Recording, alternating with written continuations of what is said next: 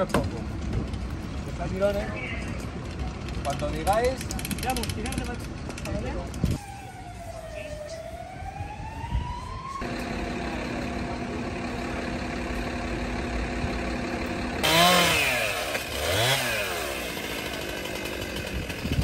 Yeah.